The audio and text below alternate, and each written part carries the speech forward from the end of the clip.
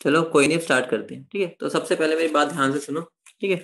जो हम चैप्टर अब स्टार्ट करने जा रहे हैं बायोमोलिक्यूल्स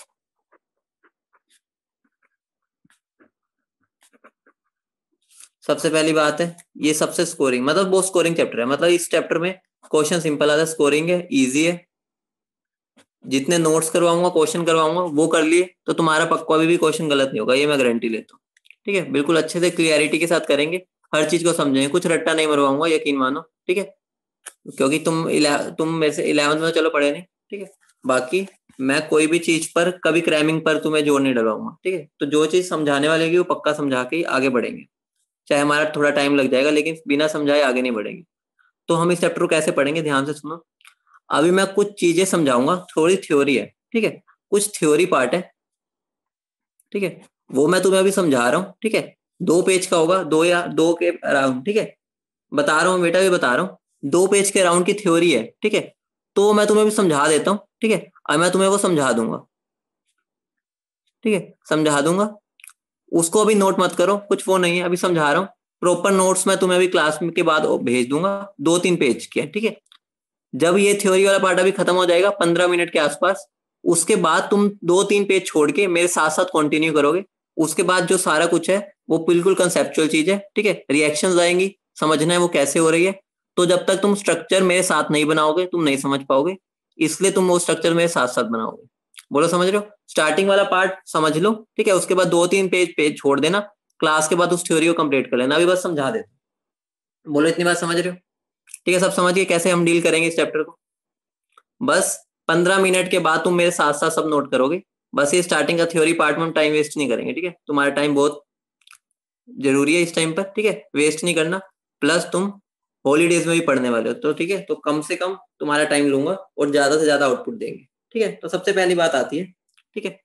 सबसे पहली बात आती है बायोमोलिक्यूल्स क्या होते हैं? मेडिकल वाले तो खुश हो जाएँगे, ये तो हमें चैप्टर आता है, ठीक है? लेकिन ये थोड़ा सा केमिस्ट्री पॉइंट ऑफ़ व्यू से तो इतना ओवर कॉन्फिडेंस मत करना, लेकिन हाँ तुम्हें बेसिक्स पता हूँ ठीक है? सबसे पहले बता दो बायोमोलिक्यूल्स क्या होते हैं। जल्दी बोलो, किसी को आइडिया है? बायोमोलिक्यूल्स क्या होते हैं? थोड़ा बहुत टूटा फूटा बता दो, कोई दिक्कत नहीं। मैं बिल्कुल देसी भाषा में हर चीज़ समझाऊँगा, ठीक है? तुमने, वैसे मैंने एक टेस्ट डिस्कस किया ही था, वहाँ तुमने देख ही लिया होगा। ठीक है? हम बिल्कुल उसको सीधी भाषा में समझेंगे, ठीक है? हाँ बहुत बढ़िया, ठीक है? बेटा कृतिका जो आप बोल रहे हो, वो थोड़ा सा तुमने कार्बोहाइड्रेट की डेफिनेशन बता दी। ठीक है? तो ये कुछ भी नहीं है। ठीक है, अभी समझा रहा हूँ। ये वाला जो सारा रफ काम होगा समझने के लिए। ठीक है? नोट्स मैं तुम्हें प्रॉपर भेजूँगा। देखो, बिल्कुल अच्छे से साफ़ से नोट्स मिलेंगे। उसको नोट कर लेना। ठीक है? अभी बस मैं समझा रहा हूँ। ठीक है? ताकि टाइम वेस्ट ना हो नोट करने में तुम्हारा। ठीक है? कुछ भी नहीं है। बायोमोलिक्यूल्स कुछ कॉम्प्लेक्स कंपाउंड्स है। ठीक है? मतलब ये कॉम्प्लेक्स कंपाउंड्स होते हैं। कॉम्प्लेक्स मतलब कि क्या हो गया एक तरह से? सिंपल नहीं है। ठीक है? ये कुछ कॉम्प्लेक्स कंपाउंड्स है। जो कि लिविंग कंपाउंड्स में मिलते हैं, ठीक है? लिविंग ऑर्गेनिजम्स में। ठीक है? जो कि लिविंग ऑर्गेनिजम्स में मिलते हैं और जो हमारी, जिसने, सुनो, जो बच्चा रफ में नोट कर रहा है ना, वो कर सकता है, क्योंकि कईयों को होता है कि लिखने से ज़्यादा समझ आते हैं। ठीक है? तो वो रफ में कर ले, लेकिन फेयर में ये मत नोट करना, क्योंकि मैं बिल्कुल शॉर्ट में बता रहा हूँ। कर लो, बहुत बढ़िया बात है। ये कुछ कॉम्प्लेक्स कंपाउंड्स है, जो कि लिविंग कंपाउंड जो लिविंग ऑर्गेनिज्म में प्रेजेंस होते हैं और वो हमारी ग्रोथ ठीक है? मेंटेनेंस वगैरह के लिए रिस्पॉन्सिबल होते हैं। ठीक है? सिंपल सी बात है, इस पर ज़्यादा ज़ोर नहीं देंगे। ठीक है? ये हमारी मेंटेनेंस ग्रोथ वगैरह के लिए रिस्पॉन्सिबल होते हैं। एग्जाम्पल्स क्या है इसके? एग्जाम्पल्स हो गए कार्बोहाइड्रेट्स ठीक है? जो हम खाते हैं, आलू भर भर के खाते हैं ना, मोटे होने के लिए। ठीक है? कार्बोहाइड्रेट्स हो गए प्रोटीन्स हो गए। ठीक है? प्रोटीन हम खाते हैं बॉडी बनाने के लिए, सबको पता ही है। ठीक है? हमारी ग्रोथ के लिए लिपिड्स हो गए विटामिन हो गए। ये सारे मेरे क्या है? बायोमोलिक्यूल्स के एग्ज़ाम्पल ठीक है, इतनी बात क्लियर है? बोलो, चमक गया। इतनी बात क्लियर है? बोलो। तो हम टाइम वेस्ट ना करते हुए सबसे पहले हम कार्बोहाइड्रेट्स को पढ़ेंगे, क्योंकि सबसे इंपॉर्टेंट है, ठीक है? इस में ये लगा लो कि सेवेंटी एट्टी परसेंट हमें कार्बोहाइड्रेट्स ही पढ़ना है चैप्टर में ठीक है? क्योंकि सबसे इंपॉर्टेंट है तो हमारा हेडिंग डालेंगे हम कार्बोहाइड्रेट्स ठीक है? मैं तुम्हें समझा रहा हूँ इसमें। जो लिखना चाहता है रफ में लिख रहा है, वो भी लिख ले। फेयर में जो मैं भेजूँगा, वही लिखना ठीक है? होगी यही चीज़ ही, बस उसको थोड़ा सा प्रॉपर डेफिनेशन टाइप में दिया होगा, ताकि तुम बोर्ड्स में भी अच्छे मार्क्स ला ठीक है? तो कार्बोहाइड्रेट्स क्या होते हैं? कोई बताएगा कार्बोहाइड्रेट्स क्या होते हैं? का कार्बोहाइड्रेट्स किसी को है बोलो। और तुम बेटा, सुनो। तुम यस की जगह वाई भी लिख दोगे ना सफिशियंट है। ठीक है? कोई दिक्कत नहीं है वाई लिख दिया करो। ठीक है? मैं समझ जाऊँगा। हाँ। ठीक है? अब देखो, सबसे पहले इसकी दो डेफिनेशन है। एक ओल्ड वाली और एक है न्यू वाली। ठीक है, एक ओल्ड वाली मेडिकल वाले तो बिल्कुल टेक्निकल डेफिनेशन दे रहे हैं, ठीक है, क्योंकि उनको पता है, ठीक है नॉन मेडिकल वाले को पहली बार कॉम्प्लेक्स फील हो रहा होगा कि वरना तो नॉन मेडिकल वाले कॉम्प्लेक्स फील करते हैं, क्योंकि उनको इंटीग्रेशन डेरिवेटिव में दिक्कत होती है। ये तुम्हारा चैप्टर पूरा मेडिकल वालों के लिए बना है, ठीक है, ताकि तुम थोड़ा सुपीरियर फील कर पाओ, थोड़ा सा, ठीक है। तो सबसे पहले कुछ ओल्ड डेफिनेशन है, ठीक है।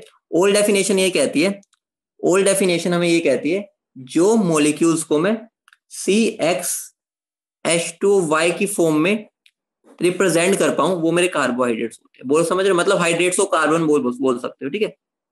हाइड्रेट्स ऑफ़ कार्बन भी बोल सकते हो। ओल्ड डेफिनेशन हमें ये कहती है, ठीक है? ओल्ड डेफिनेशन के हिसाब से ये होते हैं, ठीक है? तो अब एक बात बताओ, ये डेफिनेशन फिर ना रूल आउट हो गई, ठीक है? इस, ये रूल आउट हो गई।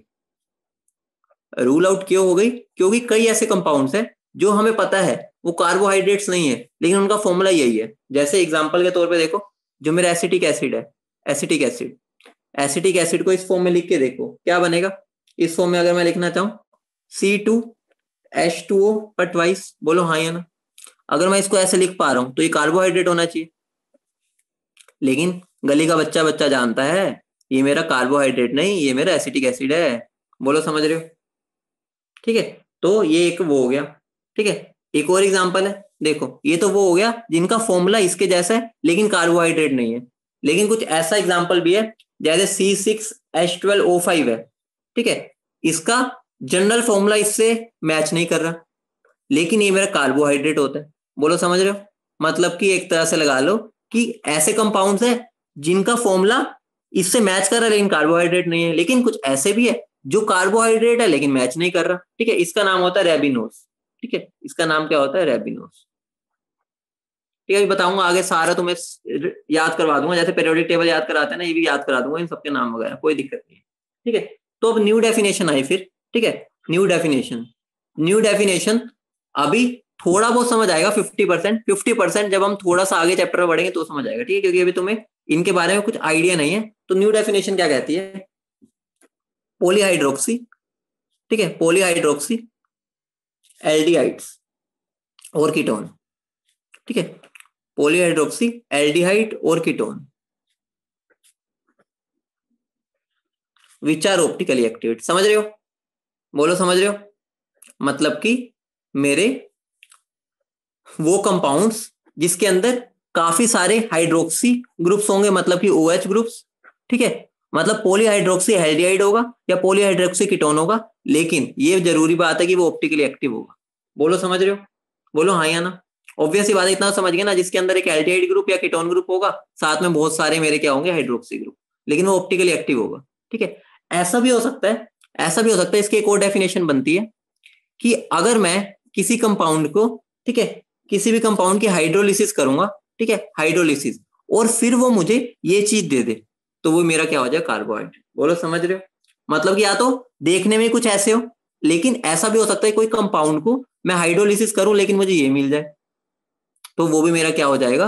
वो मेरा क्या, उसको भी मैं क्या बोलूँगा? कार्बोहाइड्रेट्स बोलो, समझ रहे हो, नहीं समझ रहे? बोलो, समझ रहे हो? ठीक है? अब मैं इनकी कुछ क्लासिफिकेशन पे आऊँगा, ठीक है? इसकी क्लासिफिकेशन पे चलते हैं थोड़ी सी ठीक है? इसी क्लासिफिकेशन पे चलते हैं, ठीक है? क्लासिफिकेशन क्या है? ठीक है? क्लासिफिकेशन हम तीन टाइप पे करेंगे, ठीक है? तो सबसे पहले क्लासिफिकेशन मैं किस बेसिस पे करूँगा? ठीक है? On basis of product of hydrolysis ठीक है? On basis of product of hydrolysis मतलब कि मेरे को हाइड्रोलिसिस पे क्या मिल रहा है? On basis of product on hydrolysis मतलब हाइड्रोलिसिस जब मैं कर रहा हूँ तो मुझे क्या प्रोडक्ट मिल रहा है? फिफ्टी परसेंट कहा लिखा बेटा, ये तो कुछ और था। ये कुछ नहीं है। ये नहीं है। बेटा, ये तो मैंने किसी और बात के लिए लिखा था। ठीक है? तो अब ध्यान दो इधर। Classification on the basis of hydro ठीक है? प्रोडक्ट ठीक है? तो ये मेरे तीन टाइप के होते हैं, ठीक है? मोनोसेक्राइड्स ठीक है? ओलिगोसेक्राइड्स ऑर्गेनिक वाले, जो मेडिकल वाले हो तो कूद कूद के आंसर दे रहे हैं, ठीक है?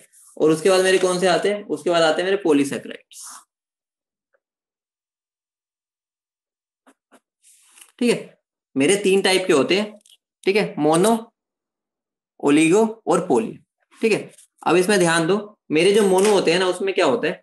ठीक है? अगर मैं इनको पानी में डालूँगा ना, पानी में, ठीक है? ठीक है? हाँ सेक्राइड स्वीट होता है भाई, ठीक है? ठीक है? देखो, अगर मैं पानी में डालूँगा ना इनको तो ये मुझे कोई प्रोडक्ट नहीं देंगे मतलब हाइड्रोलिसिस ही नहीं होंगी। तो इनडायरेक्टली मेरे क्या होगी सिंपलेस्ट हाइड्रो सिंपलेस्ट कार्बोहाइड्रेट्स होगी ठीक है? मेरे सिंपलेस्ट कार्बोहाइड्रेट्स हो गई। बोलो, समझ रहे क्योंकि मेरे को हाइड्रोलिसिस पे कुछ प्रोडक्ट नहीं दे रहे। ठीक है? ओलिगोसैक्राइड्स क्या होते हैं? जिनको मैं क्या करूँगा? पानी में डालूँगा ना हाइड्रोलिसिस करूँगा इनकी, ठीक है? जब मैं हाइड्रोलिसिस करूँगा तो मुझे क्या? दो से लेके दस तक मोनोसेक्राइड्स मिल सकते हैं। मतलब क्या होगा? इनको तोड़ने में मुझे मिलर मोनोसेक्राइड्स रहे हैं, लेकिन उनका नंबर दो से दस के बीच में होगा। समझ रहे हो? मतलब इनडायरेक्टली दो या दस मोनोसेक्राइड से बना होगा। समझ रहे हो? जैसे अमीनो एसिड वाला थोड़ा होता है, तुम्हें पता होगा। ठीक है? प्रोटीन उनसे बनते हैं। तो वैसे जब मैं इसको तोड़ूँगा तो मुझे ये मिलेंगे, ठीक है? और पोलिसैक्राइड्स क्या है? पोलिसैक्राइड्स में क्या कुछ नंबर ही बहुत बड़ा होता है। मतलब कि सौ से लेके तीन हज़ार के अंदर मोनोसेक्राइड्स यूनिट मिलते हैं, वो मेरे पोलिसैक्राइड्स होते हैं। बोलो, समझ रहे हो? ठीक है? सैक्राइड बेटा मतलब बस होता है स्वीट ठीक है? कुछ भी नहीं है। सैक्राइड्स मतलब क्या होता है? स्वीट ठीक है? ये शुगर बोल लो। सैक्राइड्स का मतलब शुगर हो गया एक तरह से। ठीक है? नाम है बस सैक्राइड्स मतलब शुगर हो गया या कार्बोहाइड्रेट हो गया। ठीक है?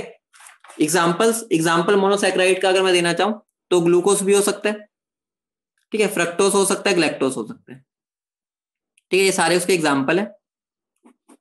बेटा, बीच का नहीं, वो इतने होते ही नहीं है। जो बीच वाले तुम सोच रहे हो ना, वो इतने नहीं होते, ठीक है? जनरली और इसके मेरे एग्ज़ाम्पल कौन होते हैं? इसके मेरे एग्ज़ाम्पल होते हैं माल्टोस हो गया लैक्टोस हो गया, ठीक है? अभी तुम्हें याद हो जाएँगे जब तुम करोगे। सुक्रोस हो गया माल्टोस हो गया, ठीक है? और ध्यान है ना ओलिगोसैक्राइड्स आगे दो तरीके का होता है, ठीक है? एक होता है ओलिगोसैक्राइड्स मेरे दो तरीके के होते हैं। एक डाइसैक्राइड ठीक है? और एक मेरा ट्राइसैक्राइड्स। ठीक है? मतलब और भी होते हैं, हम जनरली ये दो को ही पढ़ते हैं। ठीक है? मतलब ये बाकी बस नॉर्मल चीज़ है। सैक्राइड मतलब शुगर होता है। जिसको हम आगे हाइड्रोलिसिस फर्दर ना कर पाए, वो मोनो जिसकी अगर मैं हाइड्रोलिसिस करूँ, मुझे दो से दस मोनोसेक्राइड मिले वो ओलिगो और जिसको मैं हाइड्रोलिसिस करूँ, सौ से तीन हज़ार तक मतलब बहुत सारे मतलब बहुत सारे होते हैं मोनोसेक्राइड्स मिले, वो मेरे पोलिसेक्राइड्स ठीक है? ओलिगो को आगे मैं दो में कर सकता हूँ डाय में और ट्राई में। ठीक है, डाई में मुझे दो मिलेंगे, ट्राई में तीन मिलेंगे। गलेक्टोस गलेक्टोस ठीक है गलेक्टोस ठीक है, समझ रहे हो? और इसके एग्ज़ाम्पल मेरे पोली के एग्ज़ाम्पल कौन हो सकते हैं? स्टार्च हो गया। ठीक है सेलुलोस हो गया। ग्लाइकोजन हो गया। ठीक है इंसुलिन हो गया, बहुत सारे होते हैं। ठीक है, हमें जो जनरली पढ़ने हैं ये। ठीक है, उसके बाद मेरी बात क्या आती है? ठीक है, उसके बाद मेरी बात आती है, अगर मैं इनकी on the basis of test classification करूँ। On the basis of test ठीक है? अगर मैं टेस्ट के बेस पे क्लासिफाई करूँ तो मेरे दो तरीके के होते हैं। एक शुगर और एक नॉन शुगर मतलब बस अलग अलग क्लासिफिकेशन है। ठीक है? अगर मैं मोटा मोटा बोलूँ तो शुगर मतलब जनरली जो मेरे स्वीट इन टेस्ट होंगे ना खाने में हाँ मेरा टेट्रा पेंटा भी हो सकते हैं, लेकिन वो पाए नहीं जाते इतने, इसलिए हम जनरली दो ही पढ़ते हैं। ठीक है? शुगर वो होते हैं जो स्वीट इन टेस्ट होंगे, ऐसे कार्बोहाइड्रेट जो स्वीट इन टेस्ट हो। ठीक है? और जो नॉन शुगर है वो मेरे नॉन स्वीट इन टेस्ट होंगे। बोलो, समझ रहे हो? बेसिक तो यही है, लेकिन इनकी कुछ और प्रॉपर्टीज़ भी होती है जो तुम्हें पता होनी चाहिए। ठीक है? मतलब ये कोई पूछे टेस्ट शुगर कौन है जो स्वीट होगी और ये नॉन स्वीट ठीक है? ठीक है? अब इसके एग्ज़ाम्पल क्या होते हैं? एग्ज़ाम्पल छोड़ो, इसकी और प्रॉपर्टीज़ पहले जान लेते हैं, ठीक है?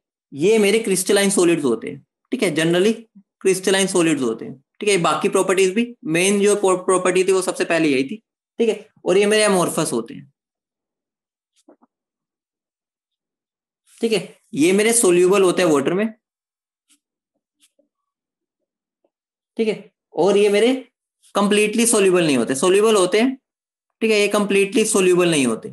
इन कोल्ड वाटर ठीक है, हम जनरली कोल्ड वाटर की बात कर रहे हैं। इन कोल्ड वाटर ठीक है, बाकी तो सही है। अगर मैं एग्जांपल्स की बात करूँ एग्जांपल जो सारे के सारे मैंने मोनो और डाइसेक्राइड्स बताए ना,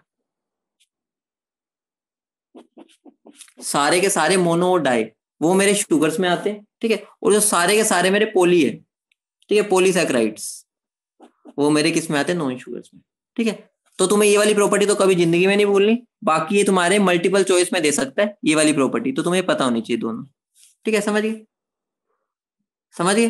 ठीक है? तो शुगर और नॉन शुगर में ये स्वीट ये नॉन स्वीट ये क्रिस्टलाइन ये एमोर्फस ये सोल्यूबल ये कंप्लीटली सोल्यूबल नहीं होते। ठीक है? Completely insoluble in cold water note completely लिख लेना इसको। ठीक है? इसके एग्ज़ाम्पल मोनो डाइसेक्राइड्स इसके एग्ज़ाम्पल पॉलीसेक्राइड्स ठीक है? ठीक है? अब ध्यान से सुनो, ठीक है? तुम्हें याद होगा, हम जो चीनी वगैरह खाते हैं, ठीक है, वो क्या होते हैं? क्रिस्टलाइन होते हैं तो तुम उसको देख सकते हो। ठीक है? तो वो शुगर ही तो होती है, हम उसका नाम ही शुगर बोलते हैं। ठीक है? और जो नॉन शुगर है, जैसे हम जो फाइबर्स वगैरह होते हैं, ठीक है? जो सेलुलोस हो गए ये सारे, ये एमोर्फस होते हैं, क्रिस्टलाइन नहीं होते, ठीक है? इसलिए नॉन शुगर बोलते हैं। ठीक है? समझ रहे हो? बोलो। ठीक है? उसके बाद हम एक और तरह से क्लासीफाई कर सकते हैं, जो लास्ट क्लासिफिकेशन है, उसके बाद तुम्हें मेरे साथ नोट करना है, ठीक है? बस थ्योरी खत्म होने वाली है, उसके बाद तुम मेरे साथ साथ चलोगे, ठीक है? एक और क्लासिफिकेशन है on the basis of reducing nature बेटा पोलिसैक्राइड्स जो सारे पोलिसैक्राइड्स अभी मैंने बताए पोलिसैक्राइड्स बताए थे ना सारे स्टार्च हो गया सेलुलोस हो गया, सारे स्टार्च हो गया सेलुलोस हो गया ग्लाइकोजन हो गया, ये सारे मेरे क्या पोलिसैक्राइड्स है ना तो ये नॉन शुगर के एग्ज़ाम्पल है, ठीक है? On the basis of reducing nature नाम से तुम्हें पता चल रहा होगा। ठीक है? तो मैं दो तरीके से क्लासिफाई कर सकता हूँ। रिड्यूसिंग शुगर और नॉन रिड्यूसिंग शुगर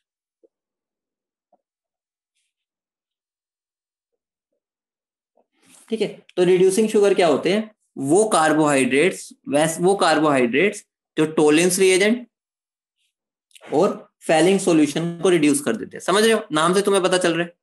फील कर पा रहे हो? ठीक है? मतलब कि रिड्यूसिंग शुगर क्या होता है? जो टोलेंस और फेलिंग सॉल्यूशन को रिड्यूस कर सकते हैं। ठीक है? ठीक है? अब इसका रीजन क्या है? ठीक है, अभी रीजन छोड़ो। और नॉन रिड्यूसिंग क्या होते हैं? जो टोलेंस और फेलिंग सॉल्यूशन को रिड्यूस ना कर पाए। समझ रहे बोलो। ठीक है? तो अब ध्यान रखना। ठीक है? अब इधर ध्यान से सुनना। ठीक है? इसका रीजन क्या होता है? रीजन रीजन सुन लो। ठीक है? इनका अंदर एल्डिहाइड या कीटोनिक ग्रुप होता है। ठीक है? जो कि फ्री होता है। ठीक है? फ्री भी होना चाहिए ना।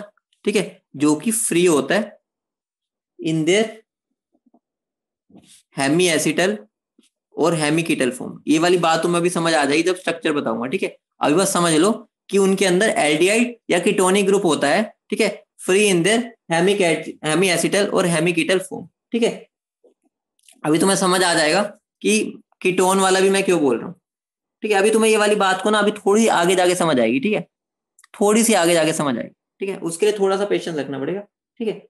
अब ध्यान, ठीक है? तो इसके एग्ज़ाम्पल कौन होते हैं मेरे रिड्यूसिंग शुगर के? इसके भी मेरे सारे मोनो और जो डायसेक्राइड्स होते हैं ना, वो सारे एग्ज़ाम्पल होते हैं एक्सेप्ट सुक्रोस सुक्रोस को छोड़ के सारे मेरे इसके एग्ज़ाम्पल होते हैं। ठीक है? इन सब का भी स्ट्रक्चर वगैरह तुम सब जानोगे, ठीक है? कि होते क्या है, सब पता चल जाएगा। ठीक है? तो सुक्रोस बेटा ये जो चीनी हम खाते हैं ना, वही होती है। ठीक है? उसके बाद नॉन रिड्यूसिंग क्या हो जाएँगे?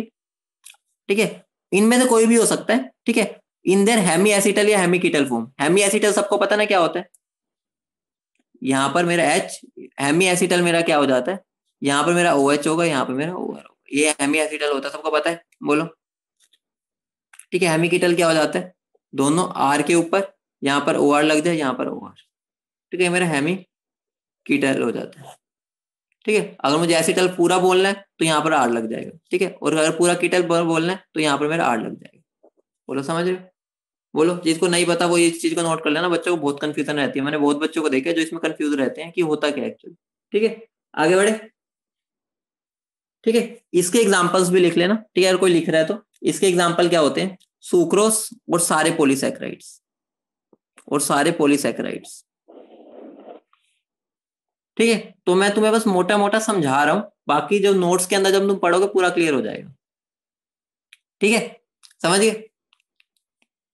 ठीक है? तो अब हम आगे बढ़ते ठीक है? एसिटल मतलब होता है बेटा, देखो, ये एसीटोन होता है ना एसीटोन ये एसीटोन कह रहा हूँ, ये एल्डिहाइड होता है ना एल्डिहाइड इसमें अगर मैं एक ओ आर लगा दूँ, यहाँ ओ आर तो ये मेरा सिंगल बॉन्ड हो जाएगा और यहाँ एच लग जाएगा। ये मेरा हैमी एसिटल होता है। रिड्यूसिंग एग्ज़ाम्पल बताए तो है, सारे के सारे मोनो और डाइसेक्राइड्स एक्सेप्ट सुक्रोस ठीक है? सुक्रोस मेरा एक डाइसेक्राइड होता है लेकिन ये मेरा रिड्यूसिंग नहीं होता। ठीक है? तो मतलब सुक्रोस होना चाहिए था क्योंकि डाई है, लेकिन ये नहीं होता। अभी रीजन आगे पता चल जाएगा तो थोड़ा सा वेट करना पड़ेगा। अभी तो बस हमने डेफिनेशन की बात की है। हाँ ओलिगो का पार्ट था ना डाई ठीक है? तो अब तुम्हारी बारी आ गई पेन उठा लो और मेरे साथ साथ लिखो। तुम्हारे लिए मैं इस, ऐसे पढ़ा रहा हूँ, ताकि तुम भी साथ साथ लिख सको। ठीक है? वरना मैं तुम्हें स्क्रीन शेयर से भी कवर कर सकता था। लेकिन मैं चाहता, तुम हाँ स्ट्रक्चर सबके रिपीट करूँगा। सारे स्ट्रक्चर आएँगे तो इसलिए चाहता हूँ तुम साथ साथ लिखोगे तभी समझ पाओगे। ऑर्गेनिक को तुम ऐसे नहीं समझ सकते। बेटा बस तुम पेज छोड़ दो। तीन पेज छोड़ दो। तीन पेज छोड़ दो। ठीक है? मतलब ये तीन। एक पेज ये, उससे अगला और उसके सामने वाला। ठीक है? तीन पेज। वन टू थ्री बस। हाँ आगे जो पढ़ाऊँगा उसके भी भेजूँगा, लेकिन तुम्हें साथ साथ नोट करना ठीक है? अब आज नहीं भेजूँगा, देखते हैं, वरना तुम नोट ही नहीं करते, ठीक है? आगे के नोट्स अब तुम मेरे साथ साथ बनाओगे, ठीक है? क्योंकि यहाँ इसके आगे वाला तुम्हें, अगर मेरे साथ साथ नहीं बनाओगे तो तुम सीख नहीं पाओगे, ठीक है? तुम्हें अगर सीखना है तो हेडिंग डालो मोनोसेक्राइड्स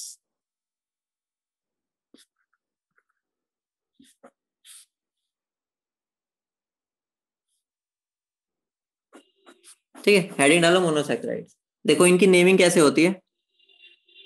ठीक है? इनकी नेमिंग का ध्यान देना। इनकी नेमिंग कैसे होती है? ठीक है? कुछ भी नहीं है। फंक्शनल ग्रुप प्लस ओस ठीक है? इनकी ऐसे नेमिंग होती है। एग्जांपल देखो। मान लो मेरा कोई एल्डिहाइड है। उसमें अगर वो कार्बोहाइड्रेट के साथ मिलता है। तो उसका नाम क्या हो जाएगा? एल्ड फंक्शनल ग्रुप ओस तो नाम क्या हो गया उसका? एल्डोस बोलो, समझ रहे हो? ठीक है, अगर ये कीटोन आ जाए, ठीक है प्लस कार्बोहाइड्रेट तो उसका नाम क्या हो जाएगा? कीटोस बोलो, समझ रहे हो? बोलो हाँ या ना। ठीक है एग्ज़ाम्पल देखो एग्ज़ाम्पल ठीक है, अगर मैं बोल रहा हूँ C six H twelve O six ठीक है तो इसका नाम क्या होगा? बोलो हाँ। या तो होगा एल्डो एक्सोस अगर वो, क्या होगा? उसके अंदर एल्डिहाइड होगा, या कीटो एक्सोस बोलो, समझ रहे हो? ठीक है? अगर मैं ले रहा हूँ C three H six O three इसका नाम बता दो मुझे क्या होगा इसका नाम बताओ फटाफट। इसका नाम बताओ, क्या होगा? ठीक है, यहाँ पर बेटा एल्डो, बोलो, क्या होगा नाम? Aldo triose. क्या हो जाएगा? एल्डो ट्रायोस या कीटो ट्रायोस। बोलो, समझ रहे हो? बोलो हाँ या ना? समझ गए? ठीक है? अब हम स्टार्ट करते हैं सबसे पहले ग्लूकोज के बारे में, ठीक है? ग्लूकोज जो तुम्हारा फेवरेट होता है, ठीक है? बचपन में बहुत पीते थे ताकि खेल पाओ मज़े से, ठीक है? तो हम स्टार्ट करते हैं ग्लूकोज ठीक है? तो ग्लूकोज के बारे में सबसे पहले इसकी प्रिपरेशन पे आते हैं। प्रिपरेशन इतनी इंपॉर्टेंट नहीं है, बस थोड़ा बहुत आइडिया होना चाहिए कहाँ से हम ग्लूकोज को प्रिपेयर करते हैं, ठीक है? इसलिए कह रहा हूँ, मेरे साथ साथ लिखोगे, जितनी प्रैक्टिस होती है, तुम्हें इतना तो आइडिया है ही ऑर्गेनिक प्रैक्टिस मांगती है। तो अगर मैं बस तुम्हें दिखाता जाऊँगा रिएक्शंस तो तुम्हारा कोई फ़ायदा नहीं, इसलिए मैं स्क्रीन शेयर से नहीं आया, वरना मैं तुम्हारा दो दिन में चैप्टर खत्म कर देता। मुझे, मैं चाहता हूँ तुम सीखो, ठीक है? तो सबसे पहले प्रिपरेशन की बात करते हैं। तो सबसे पहले है फ्रॉम सुक्रोस ठीक है? सुक्रोस को हम केन शुगर भी बोलते हैं। छोटी छोटी बातें, बस बताता जाऊँगा, उसको लिखते रहना। ठीक है? सुक्रोस को हम केन शुगर ही बोलते हैं। तो अब एक बात बताओ सुक्रोस का मेरा फॉर्मूला होता है C twelve H twenty two O eleven ठीक है? अगर मैं उसकी हाइड्रोलिसिस करता हूँ, एसिडिक मीडियम में। ठीक है? तो ये मेरा क्या होता है? ये टूट जाता है, ठीक है? सी ट्वेल्व दिख रहा है ना? तो ये आधे में हो जाते हैं, ठीक है? तो मुझे क्या मिल जाता है? C six H twelve O six plus C six H twelve O six ठीक है? अब तुम्हारे माइंड में आ रहा है, सर, ये दो दो बार क्यों लिख दिया? किस किसके माइंड में आ रहा है? सर, आपने दो बार लिख दिया। ठीक है? तो ध्यान रखना ये मेरा ग्लूकोस है और ये मेरा फ्रक्टोस है। अभी बताऊँगा इनके स्ट्रक्चर सबके बताऊँगा, पहले थोड़ा बहुत सस्पेंस रहना चाहिए ना, ठीक है, तभी मज़ा आता है, ठीक है? एक मेरा ग्लूकोस है और एक मेरा फ्रक्टोस है, ठीक है? बोलो, समझ रहे हो? बोलो, समझ गए? ठीक है? तो इसका अगर कोई नाम लिखना चाहे तो ग्लूकोज को हम डेक्सट्रोस भी बोलते हैं, ठीक है? कभी बार पूछ ले अगर। या ग्रेप शुगर भी बोलते हैं। तो ये कॉमन नेम होगा एक तरह से, कभी काम आ सकते हैं। बोलो, इतनी बात क्लियर है? बोलो। इतनी बात क्लियर है कि हम उसको सुक्रोज से बना सकते हैं। ठीक है, मेरा सुक्रोज है। ठीक है, हम इसको स्टार्च से भी बना सकते हैं। ठीक है हम इसको स्टार्च से भी। अब स्टार्च का फॉर्मूला क्या होता है, ठीक है? धीरे धीरे सीखते जाओगे। अभी तो तुम बस जनरल फॉर्मूला लिख लो। C six H O five की पावर एन ठीक है? ये एन की वैल्यू बदलती रहती है, कुछ भी हो सकती है। अब अगर ये एन है तो मुझे एन वोटर देने पड़ेंगे ना, तब ये टूटेगा। तो जब मैं इसको करूँगा, इन, ठीक है एसिडिक मीडियम ठीक है? Temperature pressure three ninety three kelvin होता है, या टू से थ्री एटीएम इतना याद नहीं है, याद रखना कंडीशन ठीक है? तो ये मुझे क्या देता है? एन ग्लूकोज मतलब क्या हो गया? इस चीज़ से तुम कंक्लूड कर पा रहे हो कि मेरा स्टार्च ग्लूकोज से बना हुआ है। ये चीज़ समझ पा रहे हो? स्टार्च मेरा ग्लूकोज से बना हुआ है। तभी तो मेरा हाइड्रोलिसिस पे यही दे रहा है। हाइड्रोलिसिस का मतलब क्या होता है? उसको तोड़ दो। और जो मेरा सुक्रोज है, वो मेरा ग्लूकोज और फ्रक्टोज से बना हुआ है। बोलो, इतनी बात क्लियर हो रही है? बोलो हाँ या ना? ठीक है, इतनी बात समझ रहे हो? ठीक है? इसी वजह से तो ये मुझे मिल रहे हैं। ठीक है? अब बात आती है मेन मुद्दा। ये जो मैं ग्लूकोज ग्लूकोज कर रहा हूँ, इसका स्ट्रक्चर क्या है? जानना चाहते हो ना? इसका स्ट्रक्चर क्या होता है? ठीक है? तो अब अगली हेडिंग है स्ट्रक्चर ऑफ़ ग्लूकोज ठीक है? तो हम स्ट्रक्चर ऑफ़ ग्लूकोज इतनी आसानी से नहीं बताऊँगा मैं। तुम्हारे साथ सीआईडी की टीम बनेंगे, सारे क्लूज लेंगे क्लूज लेने के बाद हम बताएँगे स्ट्रक्चर क्या ग्लूकोज का, ठीक है? तो हम धीरे धीरे हर एक क्लू को ढूंढेंगे, ठीक है? कौन दया बनेगा, ठीक है? कुछ गड़बड़ नहीं करनी यहाँ पर, ठीक है? यहाँ पर सीधे रहना, ठीक है? तो यहाँ पर अब हम पढ़ते हैं स्ट्रक्चर ऑफ़ ग्लूकोज पे। तो सबसे पहले देखो, ठीक है? थोड़ा मैं, ठीक है? एसी भी बनोगे, बहुत बढ़िया। तो देखो, मैं क्या करूँगा? मान लो मेरा, मैं तुम्हें जनरल फॉर्मुला फिर भी आइडिया दे देता हूँ, ठीक है? ताकि तुम्हें लिखने की प्रैक्टिस हो। मेरा ग्लूकोज ऐसा होता है। ठीक है? अभी मैं तुम्हें एग्जैक्ट नहीं बता रहा। खोल के बिल्कुल नहीं लिख रहे। ठीक है? ये इसका मेरा फॉर्मूला होता है। अब एक बार बताओ। मान लो अगर मैं ये ना बताऊँ। ठीक है? अगर मैं बोल दू मैंने ग्लूकोज के अंदर अगर एचआई के साथ हीट कर दिया। ठीक है? अगर मैं तुम्हें ग्लूकोज का ऐसा ना दिखाता। मैं बोल देता ग्लूकोज के अंदर मैंने ये डाला और मुझे ये मिल रहा है। एक, दो, तीन, चार, पाँच, छह। छह मेंबर एन हेक्सेन मिल रहा है। HI का तुम्हें पता ना रिड्यूसिंग नेचर होता है, वो रिड्यूस कर देते हैं।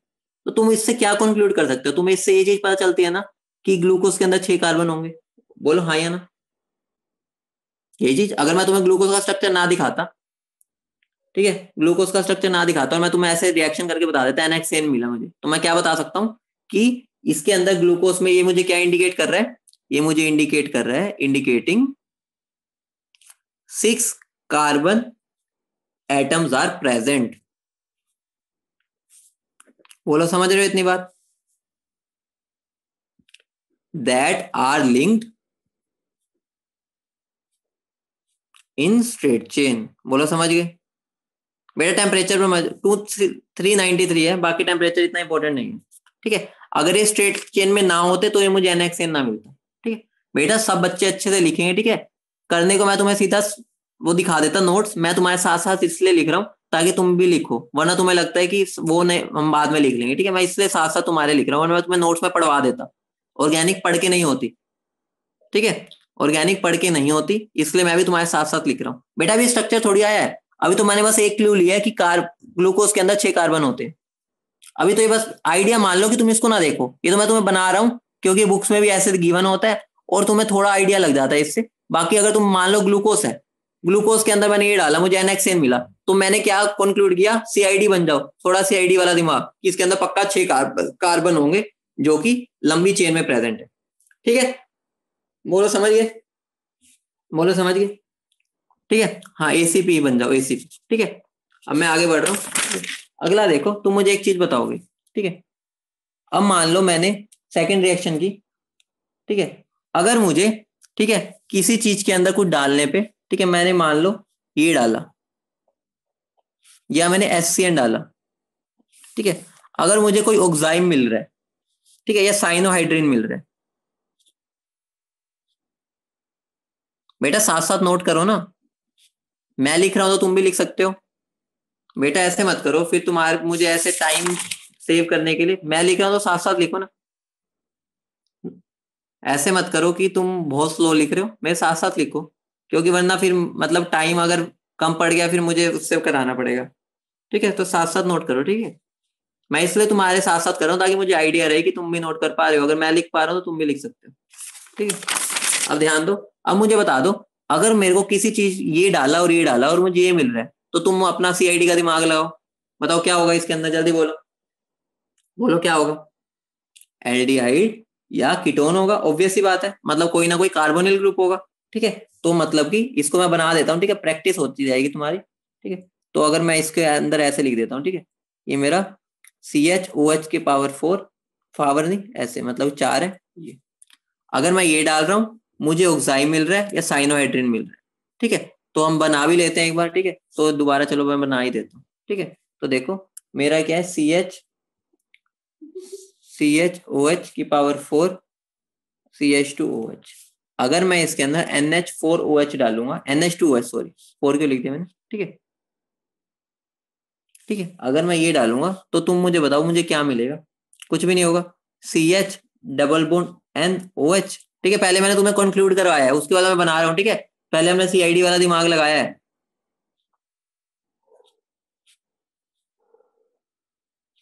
ठीक है तो मेरा क्या बन जाएगा? ग्लूकोज का ऑक्साइम है, ठीक है? ग्लूकोज का ऑक्साइम ऐसे ही तुम एच सी एन डालोगे तो क्या मिलेगा मुझे? एच सी एन डालने में क्या मिलेगा मुझे? सी एच यहाँ पर मेरा ओ OH लग जाएगा और यहाँ सी एन लग जाएगा। समझ रहे हो ना? कैसे होता है? इतना तो मैं आइडिया है ही तो मैं इसलिए उस पर ज़ोर नहीं दे रहा। सबको पता ना ये कैसे आ रहा है? सबको आइडिया है ना? देखो, कुछ भी नहीं किया। अगर मैं सी एच ओ है, ठीक है, इस पर सी एन डालूँगा सी एन नेगेटिव तो ये यहाँ जाएगा, ये ऊपर जाएगा, यही चीज़ हुई। ठीक है मतलब सी एन लग गया और ओ ऊपर गया साइड में तो ओ एच लग गया। ठीक है मतलब एक कार्बन बढ़ गया मेरे रिंग में। चार, पाँच, छह, सात हो गए। हाँ न्यूक्लियोफिलिक एडिशन ठीक है? तो लिख लिया तुमने। It indicates presence of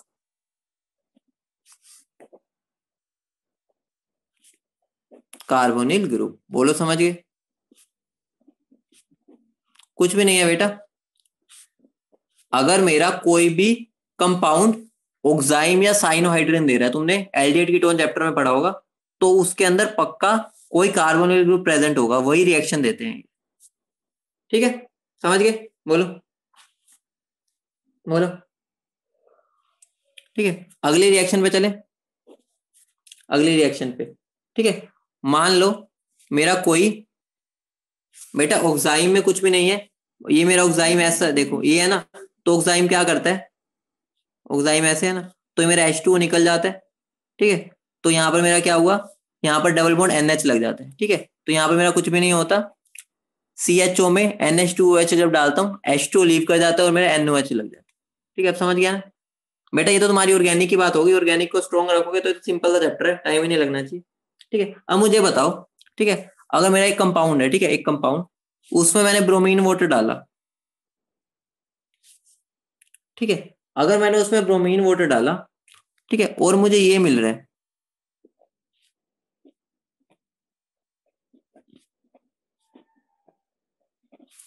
मतलब कि एक ग्रुप मेरा ऑक्सीडाइज हो गया कार्बोनिक कार्बोक्सिलिक एसिड में। तो उससे मुझे क्या पता चलता है? ब्रोमीन वाटर टेस्ट जो ब्रोमीन वाटर होता है, वो तो बस एल्डिहाइड को ऑक्सीडाइज कर पाता है। तो पक्का एक एल्डिहाइड प्रेजेंट था। इसलिए मैं इसको उल्टा बना रहा हूँ, ठीक है? ताकि तुम उसको रिलेट भी कर पाओ। ठीक है? मतलब क्या हो गया?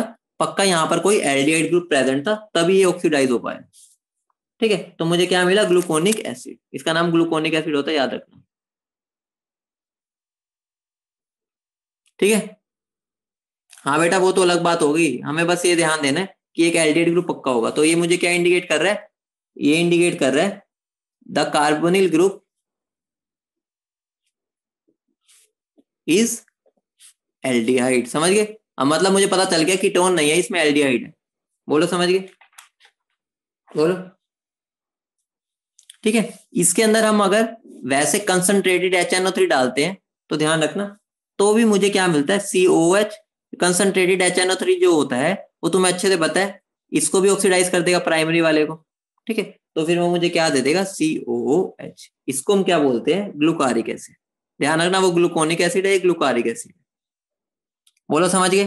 ठीक है? तो ये दोनों रिएक्शन बहुत इंपॉर्टेंट है। बहुत ज़्यादा इंपॉर्टेंट है, ध्यान रखना। ठीक है? समझ गए? इसकी जगह पर वो कई बार एच ओ बी आर भी दे सकता है। तो बात एक ही है, ठीक है? तो ध्यान रखना एच ओ बी आर भी हो सकता है। एच ओ बी आर भी दे सकता है वो प्रोमिन वोटर की जगह समझ गए? बोलो। आगे बढ़े, बोलो। हाँ या ना? ठीक है, अगली रिएक्शन पर आते हैं। ठीक है, अगली रिएक्शन पर आते हैं। मान लो ये मेरा ये है, ठीक है? ये तो अब तुम्हें पता चल ही चुका है, ये है। ठीक है, हम यहाँ से कंक्लूड करेंगे। ठीक है, अगर मैं एसिटिक एनहाइड्राइड डालूँगा तो तुम मुझे बता दो क्या आएगा। एसिटिक एनहाइड्राइड क्या करता है? कुछ भी नहीं है ओ OH की जगह ओ लग जाएगा। सबको पता है? कुछ भी नहीं करेगा एसिटिक एनहाइड्राइड ठीक है? ओ OH की जगह मेरा ओ लग जाएगा। ठीक है तो मेरा यहाँ पर बन क्या जाएगा? सी एच ओ सी एच ओ ए सी की पावर फोर पावर बोल रहा हूँ, वो, ठीक है मतलब कि चार, ठीक है इंटू ओ तो इससे तुम्हें क्या चीज़ पता चल रही है? इससे मुझे ये पता चल रही है कि इसके अंदर पाँच ओ एच ग्रुप प्रेजेंट है, क्योंकि यहाँ पर पाँच मेरे ओ ए सी रिप्लेस हो रहे हैं। बोलो, इतनी बात समझ रहे हो? बोलो हाँ या ना? तो यहाँ से मैं क्या इंडिकेट कर रहा हूँ? ये मेरा क्या कंफर्म कर रहा है? Confirms the presence of five O H groups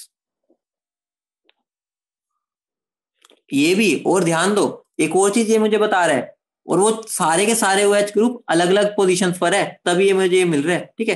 And H groups are present and all O H groups are present on different carbon मतलब कि ये सारे जो है, वो डिफरेंट कार्बन एटम्स पे प्रेजेंट है। बोलो, इतनी बात समझ गए? बोलो हाँ ना बोलो। ठीक है अभी पोजीशंस अभी पता चल जाएगी ठीक है? ये तो हमने थोड़ा बहुत आइडिया लिया ठीक है? तुम इतने बड़े अभी तुम सीआईडी तो नहीं बने ना कि तुम सारा कुछ बता दो। मतलब इनसे हमें ये चीज़ इन्फ्रेंसेज मिले अब हम इसकी हेल्प से एक, एक बना सकते हैं स्ट्रक्चर जो हम इसकी हेल्प से मतलब जस्टिस वो कर पाएँगे उनको ठीक है? उस स्ट्रक्चर को ठीक है? तो अगर मैं इसका स्ट्रक्चर बनाना चाहूँ ठीक है? हाँ दया ने दरवाज़ा खोल दिया ठीक है? अगर मैं इसका स्ट्रक्चर बनाना चाहूँ ग्लूकोज का ठीक है? तो एक तरह से, देखो, ध्यान से बनाना, मेरे साथ साथ बनाना, ठीक है? क्या होंगे? छह कार्बन होंगे। One two three four five और सिक्स ध्यान रखना, ठीक है? मैं साथ साथ बनाऊ इसलिए मैं, इसीलिए मैं तुम्हारे साथ चल रहा हूँ। ये मेन जॉब स्टार्ट होने वाला है, ठीक है? तो सबसे पहले, सबसे ऊपर मेरा कौन होगा? सी एच ओ बोलो हाँ ठीक है? उसके बाद यहाँ पर एक कार्बन यहाँ पर कार्बन यहाँ पर कार्बन यहाँ पर कार्बन और यहाँ पर मेरा C H two O H ठीक है? बोलो हाँ या ना। बोलो। अब ध्यान से सुनना ठीक है? जो लास्ट कार्बन है ठीक है? लास्ट कार्बन पे अगर मेरा ओ एच राइट साइड पर हो ठीक है? उसको हम नाम देते हैं डी ध्यान से सुनना। जो मेरा ला, सेकंड लास्ट कार्बन है सेकंड लास्ट कार्बन उस पर अगर मेरा ओ एच राइट साइड पे आ रहा हो तो उसको हम डी बोलते हैं ठीक है? अब एक और बनाते हैं ठीक है? दो तरह के क्या होते हैं ठीक है? एक और ऐसा ही बना लो। ठीक है मेरा one two three four, five, six. ठीक है? अगर सेकंड लास्ट कार्बन पे मेरा ओएच लेफ़्ट साइड में तो उसका एल से नाम स्टार्ट होता है। ठीक है? ये मतलब उनकी वो होती है, जैसे तुम स्टेडियम में पढ़ते हो ना, ठीक है? उनकी नेमिंग ठीक है? ये वो डी होता है एल बाकी सब सेम होता है। ठीक है? तो ध्यान रखो, ध्यान से सुनना। ठीक है? बाकी सब में सब कुछ सेम होता है। यहाँ ओ एच आएगा, यहाँ ओ एच आएगा, यहाँ ओ एच आएगा। ठीक है? यहाँ पर यहाँ ओ एच तो है बाकी तो सब सेम ही है। यहाँ ओ एच आएगा, यहाँ ओ एच आएगा और यहाँ ओ एच आएगा ठीक है? समझ रहे हो? ठीक है? बेटा, इस बात का ध्यान देना। तो इसका नाम क्या हो गया? डी ग्लूकोस ये मेरा हो गया एल ग्लूकोस और इस बात का ध्यान देना, जहाँ पर मैं लिख नहीं रहा ना, वो एच है। मैं इसलिए नहीं लिख रहा ताकि तुम्हें ओ एच ज़्यादा क्लियरिटी से दिखे। लिख लो एच मतलब पेपर में कभी ऐसा ना कर देना। ठीक है? इसलिए मैं यहाँ पर चलो लिख देता हूँ। लेकिन मैंने स्टार्टिंग में इसलिए नहीं लिखे क्योंकि ना फिर हम ढूँढने लग जाते हैं। अब तुम्हें पता चल रहा है कि यहाँ यहाँ ओ एच क्या मतलब एच में चलो लिख ही देता हूँ।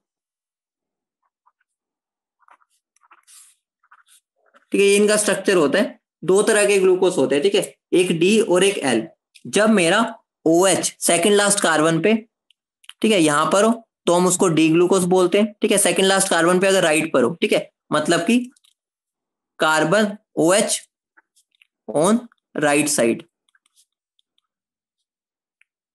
of second last carbon second last carbon, ठीक है? और एल में मेरा क्या हो जाता है? वो लेफ़्ट साइड में हो जाता है। बोलो, समझ रहे हो? तो मेरा एल हो जाता है। क्लियर हो गया इतनी बात? बोलो हाँ या ना?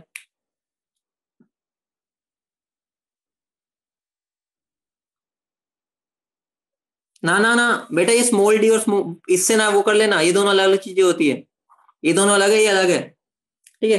तो एक बार मैं बात कर ही लेता हूँ। ठीक है? इनकी फैमिली के बारे में थोड़ा सा। तो हेडिंग डाल ही लो, ठीक है? D and L configuration D and L configuration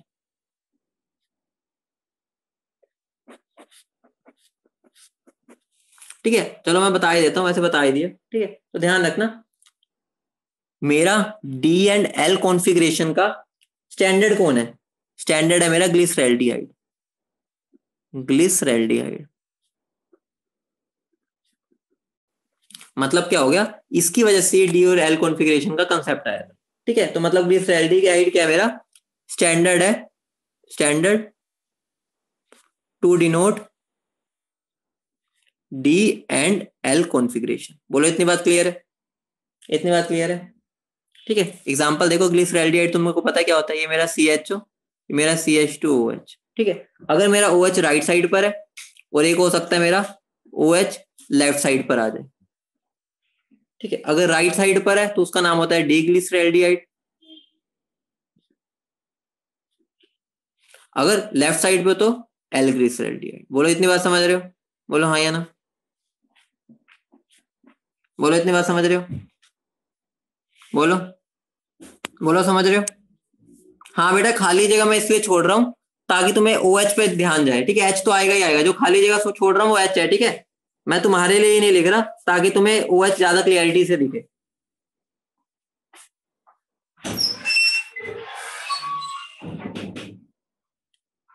ठीक है तो लिख लो, जो मेरी डी कॉन्फ़िगरेशन होती है, उसमें क्या होता है O OH group of last chiral carbon last chiral carbon last chiral carbon is on the right side. ठीक है, अभी तुम सोच रहे होगे कि सर, अभी आपने ऊपर बोला था कि सेकंड लास्ट कार्बन क्योंकि जो मेरा सेकंड लास्ट कार्बन होता है, वही तो कायरल होता है। लास्ट वाला तो कायरल ही नहीं होता, ठीक है? तो दोनों में कंफ्यूज मत होना, बात एक ही है। समझ रहे हो ना? ठीक है? तो मेरा जो लास्ट कायरल कार्बन है, वो ऑटोमेटिकली सेकंड लास्ट कार्बन ही होता है। ठीक है? तो एल कॉन्फ़िगरेशन क्या होती है मेरी? O H group of last chiral carbon on the left side तो मैं शॉर्ट में लिख दिया, तुम लिख लेना। बोलो इतनी बात क्लियर है बोलो।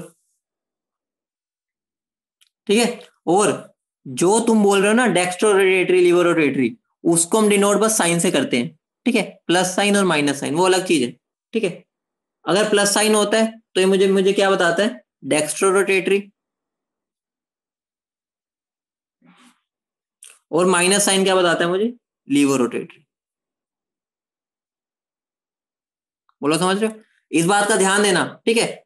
डी ये मेरा स्मॉल डी हो गया स्मॉल एल ध्यान रखना, ज़रूरी नहीं है डी कॉन्फ़िगरेशन वाला स्मॉल डी होगा।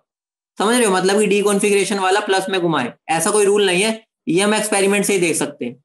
बोलो, समझ रहे हो? तो ये मिसकनसेप्शन मत करना। अगर मेरा जो डी कॉन्फिग्रेशन है, वो मेरा डेक्स्ट्रो रोटेटरी होगा। ठीक है? तो ये वाली एक्सपेरिमेंटल चीज़ है। मतलब एक्सपेरिमेंट से हमें पता चलती है, हम ऐसे नहीं बता सकते। बोलो, समझ रहे हो? बोलो। बोलो समझ गए? बोलो। ठीक है, उसके बाद एक रिएक्शन आती है, ठीक है, वो रिएक्शन मिस हो गई हमसे तो वो भी लिख लो। रिएक्शन विद परायोडिक एसिड ठीक है, इसी की रिएक्शन है, वो हमसे मिस हो गई, लिख लो इंपॉर्टेंट है। तुम अब खुद बता दो, अगर ये मेरा सी एच ओ है सी एच ओ एच है, ठीक है, हमें अभी स्टीरियो केमिस्ट्री से फ़र्क नहीं पड़ता, ठीक है, अगर मैं इसके अंदर एच आई ओ फोर डालता हूँ एक्स सबसे पहले मुझे बता दो कितने मुझे एच आई ओ फोर डालने पड़ेंगे। पहले तो इसका आंसर दे दो कितने मेरे H I O four use होंगे? ध्यान से सोचो बेटा थोड़ी सी गलती कर रहे हो तुम। तुम मतलब कि जल्दी बोल रहे हो, सोच के नहीं बोल रहे। कितने होंगे? पाँच। हाँ ये अब बच्चों ने सही आंसर दिया है। एक्स की वैल्यू होगी फाइव ठीक है? तो जब मैं इनको तोड़ूँगा तो देखो, मेरा सबसे पहले क्या क्या क्या बनेगा? बताओ। सी एच ओ किसमें कन्वर्ट होगा? C H O H C O H में? किसमें होगा? साथ में? मुझे चार क्या मिलेंगे? एच सी ओ एच ठीक है प्लस इसका मुझे क्या मिल जाएगा? एच सी एच ओ ठीक है तो मेरे ये सारे प्रोडक्ट बनेंगे। बोलो, समझ गए? बोलो हाँ या ना। समझ गए? ठीक है, अब बात आती है कि ये जो मेरा ओपन स्ट्रक्चर था ना, ओपन स्ट्रक्चर ठीक है? इसको मैं ओपन स्ट्रक्चर बोलता हूँ, जो अभी हम पढ़ रहे थे, ठीक है? उसी कुछ लिमिटेशन थी। लिमिटेशन ऑफ़ ओपन स्ट्रक्चर मतलब कि जो अभी हमने ओपन स्ट्रक्चर पढ़ा ओपन चेन वाला मतलब उसको हम ओपन चेन स्ट्रक्चर बोलते हैं, ठीक है? उसी कुछ लिमिटेशन थी। ठीक है? उसकी कुछ लिमिटेशन थी। बेटा क्या? बेटा, ये डी और एल जो होते हैं ना, तुमने ग्रुप नहीं बनाया नेचर में ऐसे एग्जिस्ट करते हैं, ठीक है? तो एक डी फॉर्म होती है, एक एल फॉर्म होती है। तो कहीं पर डी फॉर्म अवेलेबल है, कहीं पे एल ऐसे होता है। तो तुमने क्लासीफाई नहीं किया नेचर नहीं किया, हमने तो उनका नाम रखे ठीक है? तो अब लिमिटेशंस कुछ होती है, मुझे एक बार बता दो। अगर ग्लूकोज के पास एल्डिहाइड है तो उसे D four two four DNP test देना चाहिए था। बोलो हाँ या ना। देना चाहिए था। बोलो। बेटा परायोडिक एसिड का काम क्या है? सारे बॉन्ड्स को तोड़ो। देखो, ये मेरे सारे बॉन्ड्स है ना, एक, दो, तीन, चार, पाँच। सारे बॉन्ड्स को तोड़ो और ओ एच ओ एच लगा दो दोनों तरफ़। ठीक है? उसके बाद जो प्रोडक्ट बनेगा, वो तुम्हें दिख जाएगा। समझ गए? कुछ भी नहीं करना, इस बॉन्ड को तोड़ा, इसको ओ एच दे दिया, इसको ओ एच दे दिया। ठीक है? इन सबको, सारे जो चार है कार्बन इन सबको तोड़ो। ओ एच ऊपर वाले को भी दे दो, नीचे वाले को भी। तो ऐसे करके तुम्हारे बन जाएँगे। समझ गए? ठीक है? अब बता दो टू फोर डीएनपी टेस्ट देना चाहिए था, नहीं देना चाहिए था? अगर इसके अंदर एल आइडा देना चाहिए था लेकिन नहीं दिया इसने। ठीक है? इसको एडिशन प्रोडक्ट देना चाहिए था इसके साथ। बोलो addition product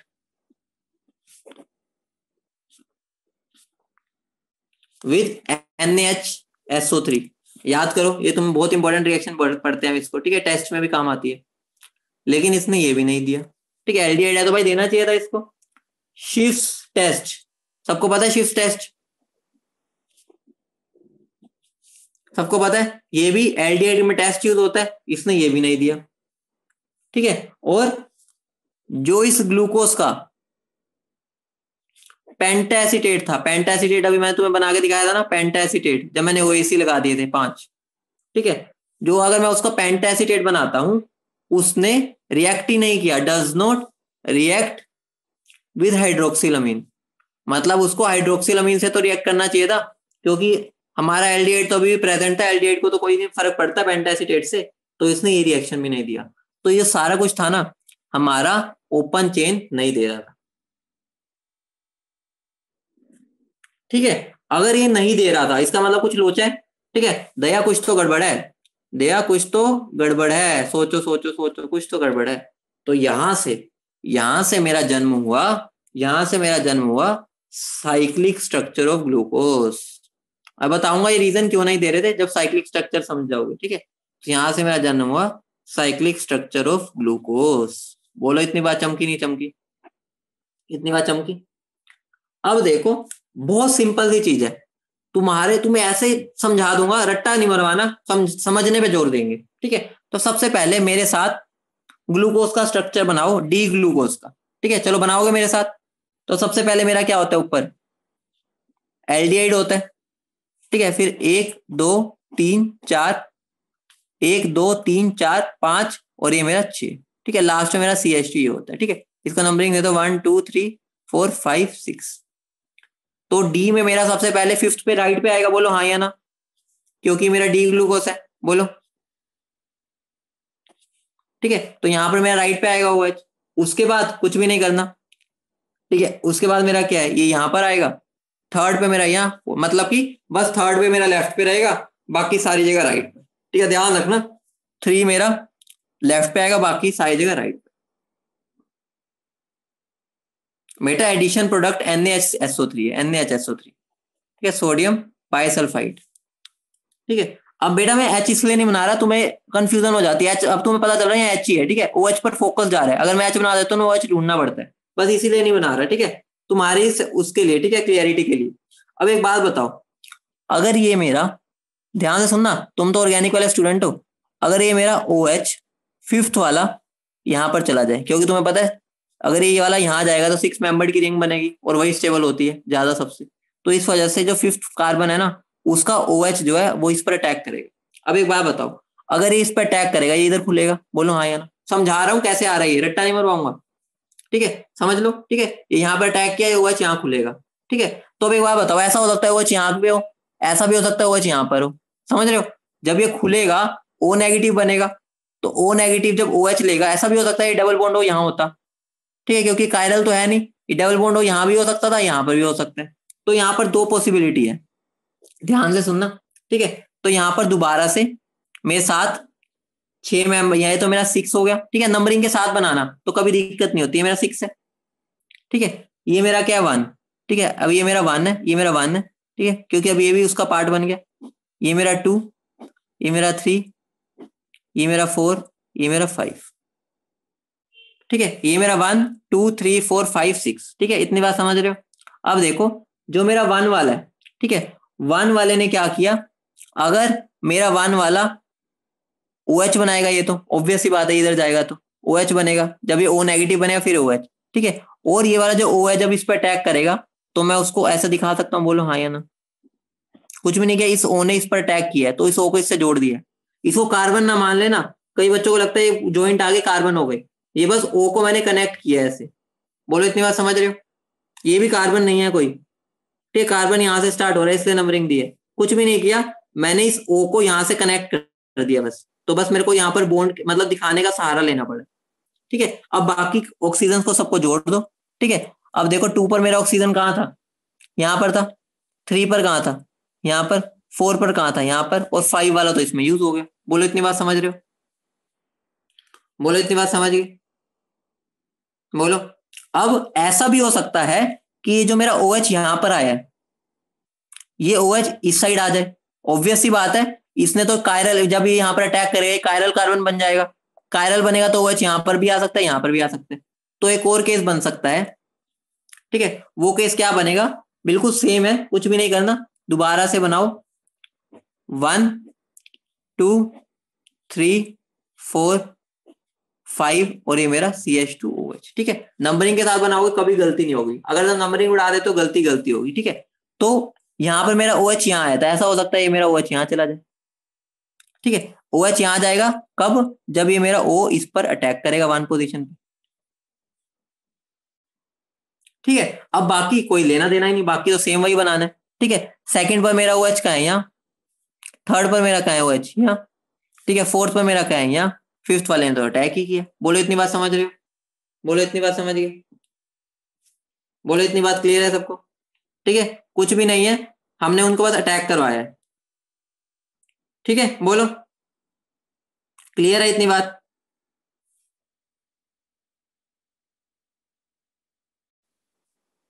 बोलो क्लियर है सबको? आगे बढ़े। बना लिया सबने साथ साथ बनाया ना मेरे। तभी मैं यहाँ पर इसलिए ऐसे पढ़ा रहा हूँ, ताकि तुम साथ साथ बना पाओ। बोलो। ठीक है, अब ध्यान से सुनना। अब एक और बात बताने जा रहा हूँ। ठीक है, एक और बात बताने जा रहा हूँ, ध्यान से सुनो। ये तो मेरा डी ग्लूकोज ही है तो ये भी मेरी डी होगी, ये भी डी होगा। ठीक है, उससे तो कोई लेना देना नहीं है। लेकिन अब ध्यान से सुनना। अब ये जो मेरा कायरल कार्बन नया बना है, जो मेरा कायरल कार्बन नया बना है, यहाँ पर तुम्हें कायरलिटी दिख रही है, ये राइट पे होगा गए लेफ़्ट पे। तो इसका मतलब इन दोनों का नाम डिफरेंट होने पड़ेंगे। बोलो। ऑब्वियस ही बात है, दोनों को सेम नाम तो दे नहीं सकते। उधर राइट पे इधर लेफ़्ट पे। बोलो हाँ या ना? अगर ये ओ OH मेरा लेफ़्ट पे आता है। मतलब कि जो मेरा हेमी एसिटल हेमी एसिटल वाला कार्बन है, उस पर जो OH अगर वो लेफ़्ट पे आता है तो उसका नाम होता है बीटा ठीक है? अगर वो मेरा राइट पर आता है राइट पर, उसका नाम हो जाता है मेरा अल्फ़ा ठीक है?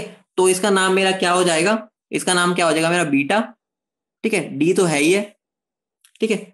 ग्लूको ग्लूकोज भी बोल देते हैं। ठीक है? जनरली कई ग्लूकोज भी बोल देते हैं, लेकिन एक्चुअल नाम क्या होना चाहिए? इसका ग्लूको पायरानोस पायरानोस क्यों है? क्योंकि इसका पायरेन जैसा स्ट्रक्चर होता है, ठीक है? पायरेन तुम्हें पता है कैसा सा होता है, ऐसा होता है ना पायरेन ऐसा होता है। ठीक है? तो इसका ऐसा सा स्ट्रक्चर बन जाता है तो इसलिए इसका नाम पायरन से थोड़ा मतलब क्या हो जाता है? एक तरह से उसको वहाँ से उठाया गया नाम में, ठीक है? तो इसका नाम क्या हो जाएगा? Alpha D glucopyranose. बोलो, इतनी बात समझ रहे हो? इतनी बात समझ रहे हो? ठीक है? बीटा डी ग्लूकोज बेटा सही नाम बोलने में सही नहीं है, ठीक है? ग्लूकोपायरानोस बोलो, बाकी बीटा डी ग्लूकोज भी बोल देते हैं, ठीक है? मिल जाएगा तुम्हें कई जगह पर। बीटा डी ग्लूकोज भी मिल सकता है। वो ऑब्वियस सी बात है, बस पायरानोज इसलिए क्योंकि ये इसके जैसा दिख रहा है तो इसलिए पायरानोज बोल देते ठीक है? अब तुम्हें यहाँ पर एक बात बताओ, ठीक है? तुम्हें यहाँ पर हैमी एसिटल लिंकेज दिख रही है? हैमी एसिटल क्या होता है? यही तो होता है कि C O H H O R यही तो होता है। ठीक है? तो यहाँ पर ये हैमी एसिटल लिंकेज की वजह से, अब तुम्हें देखो, यहाँ पर अभी एल्डिहाइड कीटोन तो रहा नहीं, बोलो। ये एल्डिहाइड तो रहा नहीं। अगर ये एल्डिहाइड नहीं रहा, इसी वजह से इसने टेस्ट नहीं दी। बोलो, चमका, नहीं चमका? बोलो, चमक गया? बोलो, चमक गया? ठीक है, बेटा इसको कार्बन ना मान लेना, दोबारा बोल रहा हूँ। कार्बन नहीं है ये, ठीक है? तो रीजन क्या हो गया? लिख लेना due to hemiacetal linkage ये मेरी हेमी एसिटल लिंकेज है ना? Hemiacetal linkage they didn't give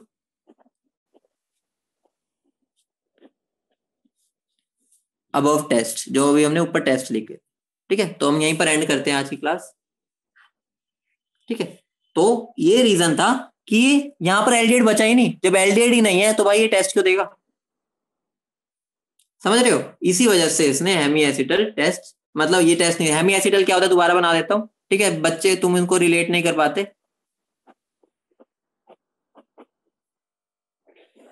ठीक है, ये हेमी एसिटल होता ठीक है? समझ गए? तो यहाँ से अब इसको रिलेट कर सकते हो। ध्यान रखना, ये सारे एच है। हाँ भी नोट सेंड कर दूँगा। ठीक है? कोई डाउट है किसी को तो वो पूछ सकता है, बाकी जा सकते हैं। किसी कोई डाउट है तो पूछ लो, बाकी जा सकते बोलो।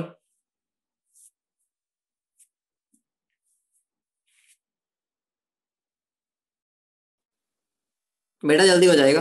कोशिश करेंगे, जल्दी हो जाए। अभी नहीं बता सकते। हाँ केस सोल्व हो गया। एसीबी जीत गए तुम।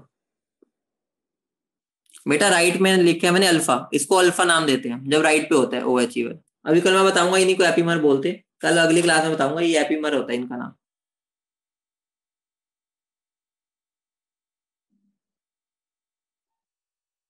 ठीक है? बेटा एनोमर एनोमर एक तरह जो एपीमर है, वो स्पेशल टाइप ऑफ़ एनोमर ही होता है, ठीक है? तो कल बताऊँगा, आज तो नहीं। बाकी कोई अभी तक कोई डाउट है तो पूछ।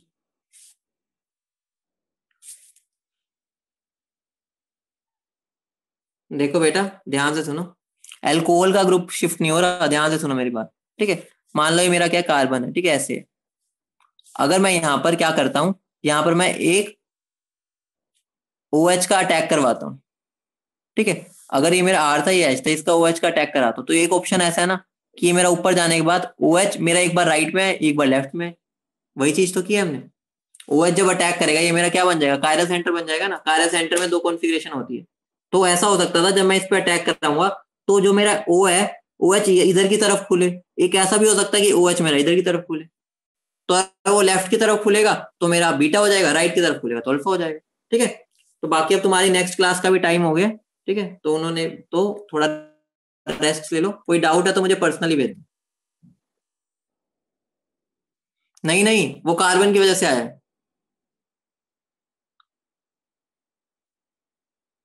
ओके चलो मिलते हैं